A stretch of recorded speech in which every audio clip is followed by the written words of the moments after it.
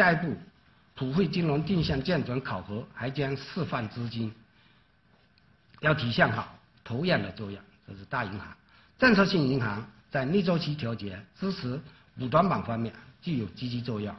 要通过增加信贷总量投放，提供专项信贷额度，发放优惠利率贷款，支持中小微企业复工复产。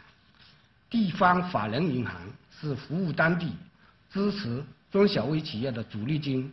央行通过提供低成本资金，解决他们的资金来源相对有限、资金成本相对较高的问题，引导加大复工复产、普惠型小微企业的贷款投放。更多精彩尽在中国新闻网客户端。